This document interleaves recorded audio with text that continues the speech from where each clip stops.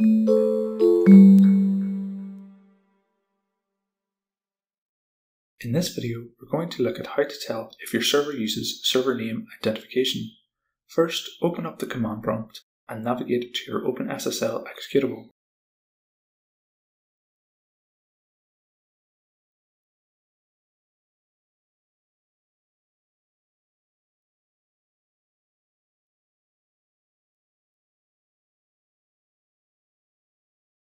Try to connect with the following command.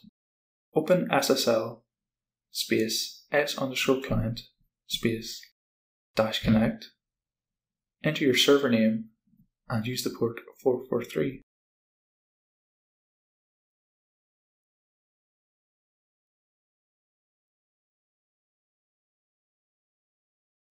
Then try to connect using the same command as before, but specify the server name this time by adding dash server name space and the name of the server. If the first command doesn't work, but the second command does, then this means that SNI is used. SNI is not supported at the protocol level with TMART. Other options are to use browser driven monitor or a self test monitor. Thanks for watching.